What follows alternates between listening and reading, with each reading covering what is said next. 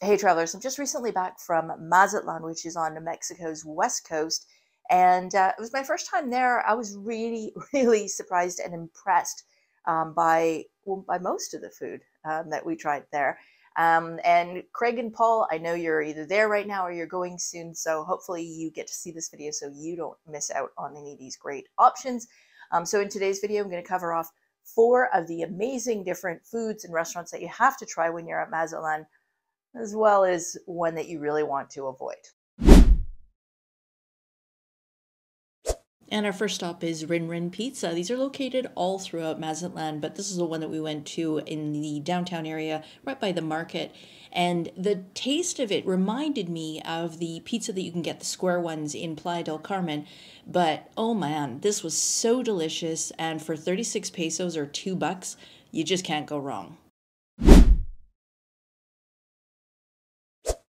And next up is Fisherman's. This is located on the Malecon, about halfway down, and a great place to come for some beers in the afternoon, watch the sunset. You can sit in the sand or up on the deck. And uh, we had the fish and the grilled butter shrimp. It was absolutely delicious. They also had a band, and as you can see here, it was quite busy that night. If you are going to go and there's going to be a band, you definitely want to make reservations because they're quite good and definitely worth checking out.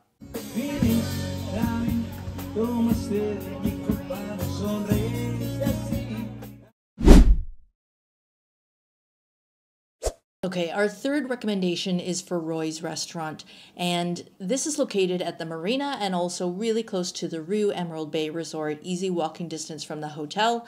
And they've got these ribs on special, and when we walked by, I mean, our mouths were watering. It was just crazy. Like, it was so delicious smelling and tender that we had to, of course, stop in and get a bite to eat. So here's my review of the ribs. Okay, so we're here at Roy's, uh, which is, uh, they do a little bit of everything. They've got steak, they've got fish, and um, we came here because the other day we saw on the grill outside that they had barbecue ribs. So I ordered some. I mean, this is massive. It was. Uh, I think 210 pesos, but Sunday they're on for 139. So really reasonable. Oh my god. And it's literally like falling off the bone. So first bite.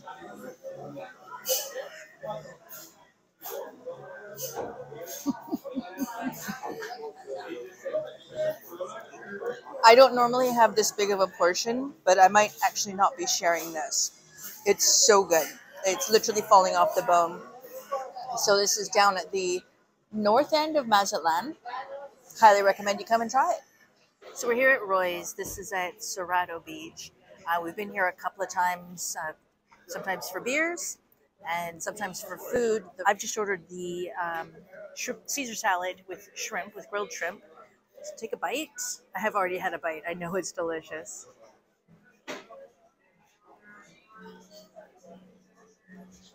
garlicky, buttery, and the salad is divine. I mean, Caesar salad was originated in Mexico, if you didn't know that. Um, so definitely this is a place to check out if you are in the area, if you're coming to Mazatlan. They also have a location at the marina by the hospital.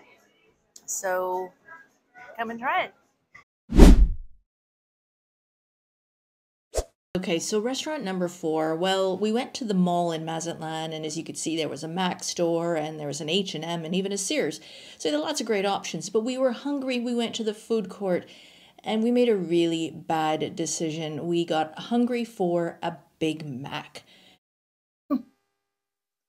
Well, I guess that blows any chances of me getting sponsored by McDonald's. But oh well, I gotta say, I've not really ever been a fan but this kind of clinched it for me. And the only redeeming thing about this meal was that they were able to sell you beer to go along with it. In true fast food fashion, they couldn't even put the cheese properly on the bun. I ate half of it, ditch the rest, don't do it.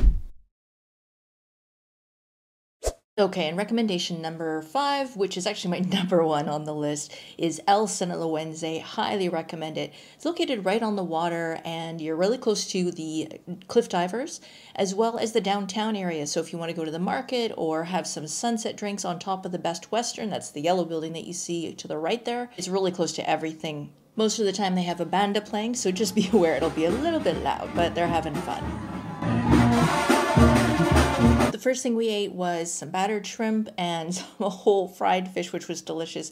And here's my review of another meal. Okay, so this is definitely a place that you have to come to. We've been here for three days, and we've been to this restaurant twice already. I'm going to show you a picture of the fish that we had the other day. It's called uh, La Sinaloense. I'm probably not saying that properly. And you can see they have music, live band, and this is the shrimp that we ordered. It's just shrimp cooked any way you like. Got it with the garlic butter. Have a little taste. Make it smaller. Fresh and so good.